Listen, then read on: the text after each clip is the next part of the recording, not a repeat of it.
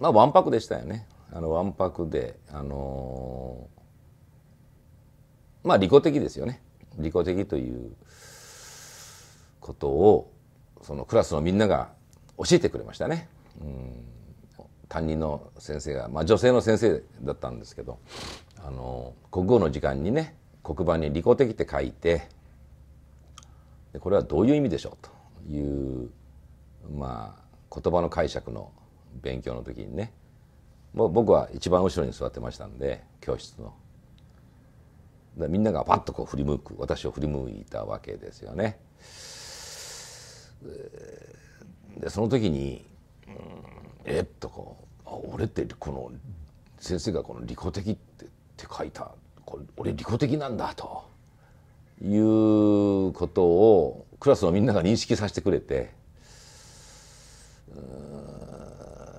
まあ利己的っていう意味分かってましたからね私もその小学校6年生ですから、あのー、ショックを受けましたよね。最初のそういうその集団でその生活していく中での最初のショックだっ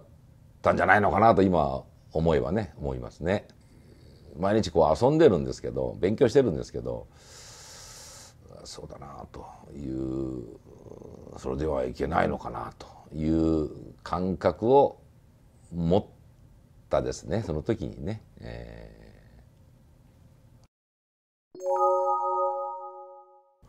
僕はね人事部には結構お願いはしてるんですけど私はねこうこういう若い人を育てたいというのはまず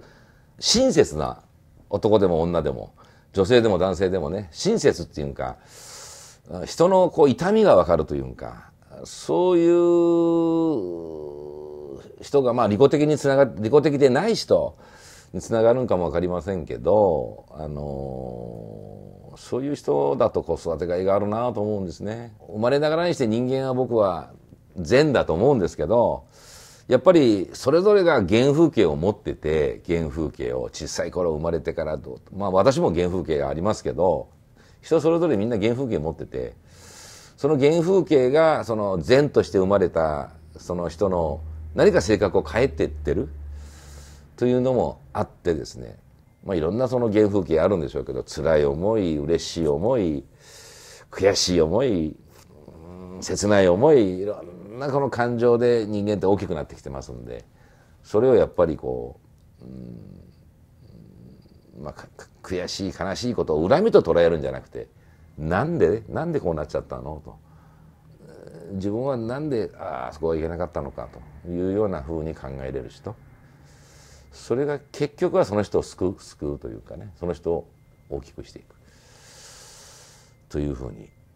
思ってますけどね。はい私が社長就任した時にどういう会社を作ろうかなというふうに思った時にあの、まあ、私がねまず自分がまあ大体毎日人間って寝て起きるわけですから毎日。寝て起きた時に朝おお会社行きたいなと。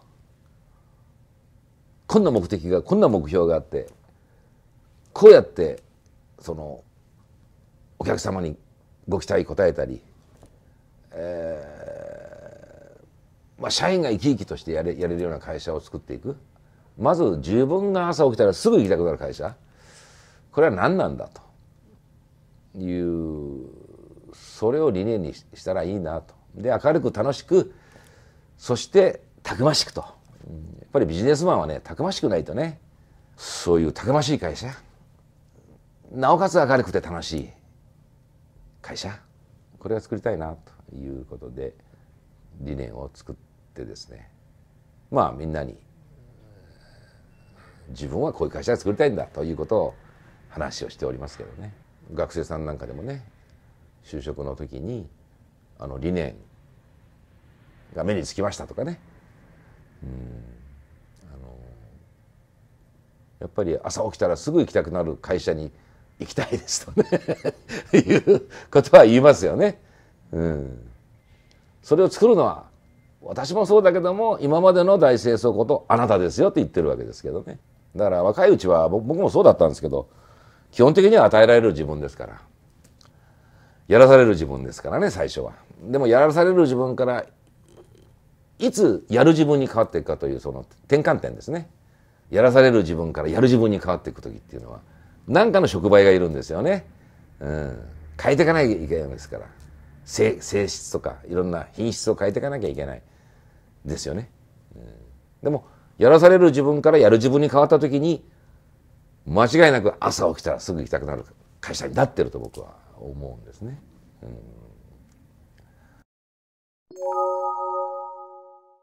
あの我が社の売り物はねうちはあの物流会社であり物流会社イコールサービス会社ですからシステムを売ってきますんでねあのやはりこの中京地区ですから、まあ、トヨタさんを中心としたその自動車鋼材ですね自動車には約その1台につき100キロから150キロのプラスチックを使ってますねそのプラスチックの原料をですねあの大体今この愛知県岐阜県三重県合わせて、えー、そのプラスチックの原料をですね6300箇所ぐらいに配送してるんですね。まあ、一つのそのプラスチックの原料っていうのは、まあ、ハンドルになったりインパネになったりあるいはそのボディになったり、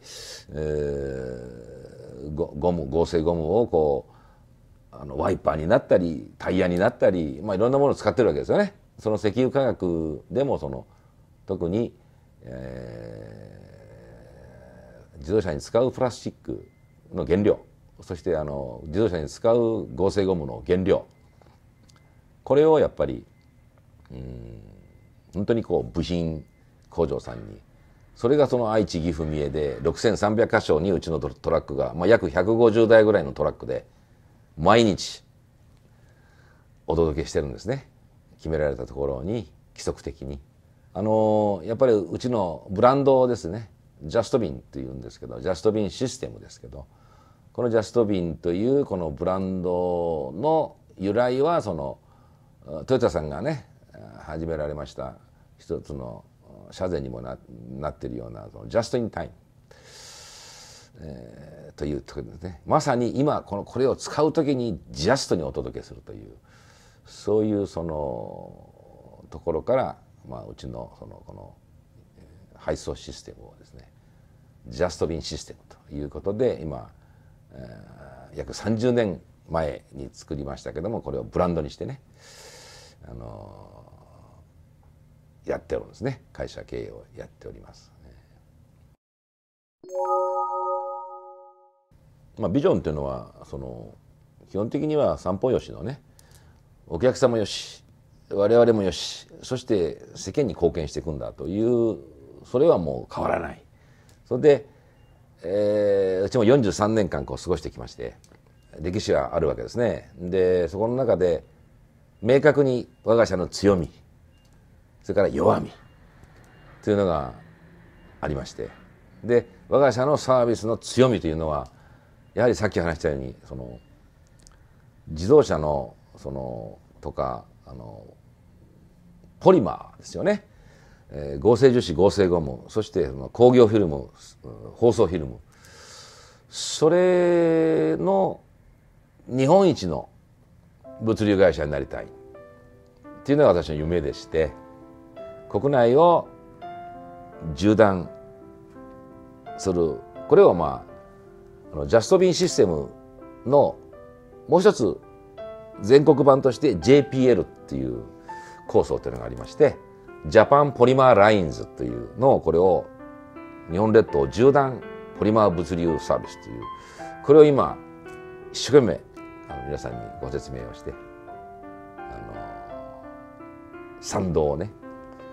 えー、お役に立ちたいんですというスタンスで今うちの営業マンが一生懸命あの皆さんにご説明して歩いてますけどね。あのそれをやっていくのがビジョンであって。そしてそれをやるや進める中でも一番それの推進力は朝起きたらすぐ行きたくなる会社になってないとね。やらされ感の会社からやるかやる会社自分でやる会社そういう人がたくさん育ってくる。そういう会社でないとまたそれができないなと僕は思ってまして。それにやっぱりいろんな原風景を持った。そして朝起きたらすぐ我が社でですねできる。そういう素材の方がねぜひ来てほしいなと。いうのが僕のあの紛れもない思いですね。それが私の夢でありますね。